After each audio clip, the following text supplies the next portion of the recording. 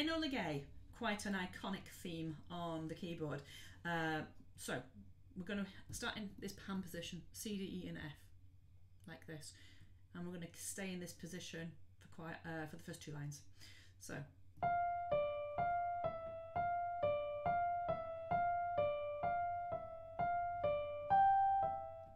It's a repeated pattern, so we do that four times.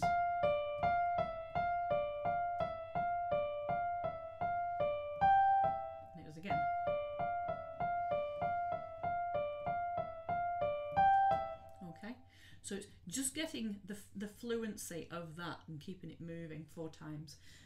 And the bass line is just alternate Fs, octaves, down to Ds.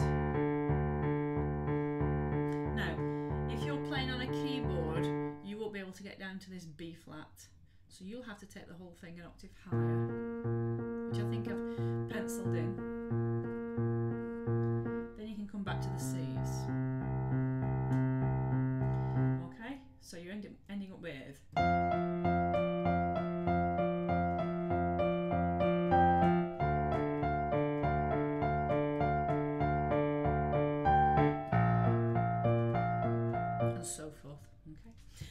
Get to the iconic part on in B. Okay, and you've got the tune. You're going to move up to F and have a gap, and there's your B flat. And then you move into the D. Same kind of riff. Then you're moving to B flat, bar 13.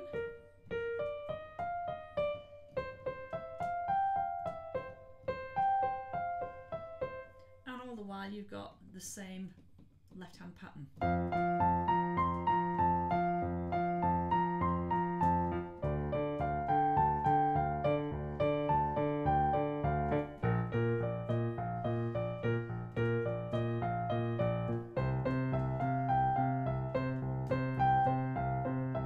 Then you get the tune where the, the singer comes in.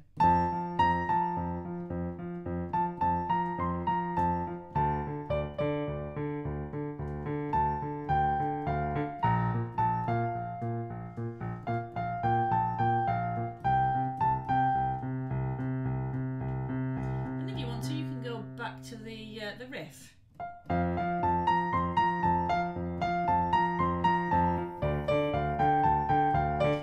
And just keep going round it. Now, if you're on a keyboard, you can also change the sound if you want to some kind of synthy sound. Um, not sure whether I've got one actually on here, but you could make something quite um, rather than just having a straight piano. I'm not sure what this sounds like.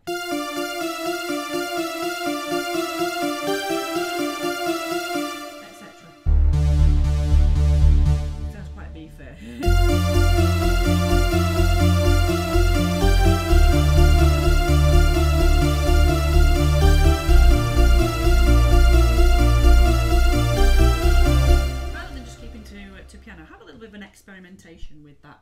Okay, so hopefully that should be uh, OMD the Gay for you.